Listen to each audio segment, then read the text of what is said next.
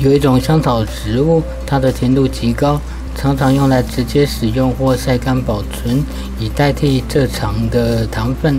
糖尿病患者食用后血糖不会飙高，所以很适合作为代糖饮料的材料之一。这是一种植物，现在把名字说出来，观众就跑光光，所以暂时先卖个关子，先说好不能快转。我的影片中穿插的玄机漏看了我可不管。摘片叶子，先做一杯一分糖的饮料，洗干净放嘴里嚼看看也可以。这是市面上买得到的自用杯，比胖胖杯小。我先放一片叶子进去，在茶的魔手或其他饮料店用自用杯可省五元。想省钱时就用这种便宜的茶包。大口就算身价百亿也不会买好车找小三，我会买一架太空梭不回地球了。接下来加一点热水来冲泡茶叶包跟那名不知名的叶子。这部影片要归类在料理类还是种植类？我现在已经搞不清楚了。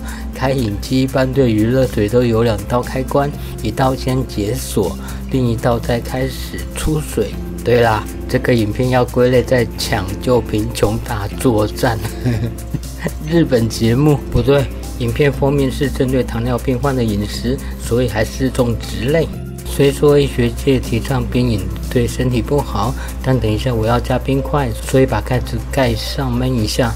真的很对不起，天气太热了。现在为大家介绍的是他口家消暑作战的方法，就是用两个制冰盒来产生冰块，再把制好的冰块放在大的塑胶盒内。这塑胶盒可以微波，比较耐用。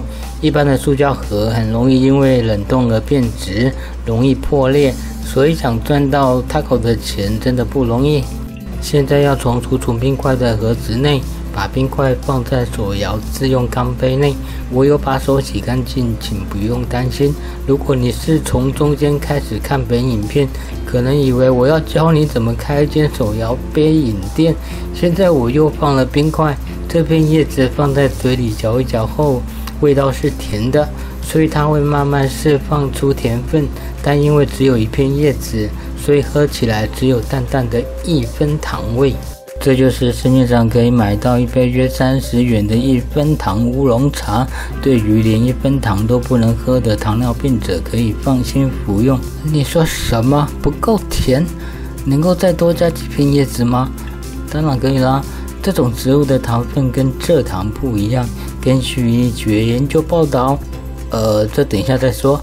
我再剪一支连茎带叶的放入饮料杯内，糖分就慢慢释放出来了。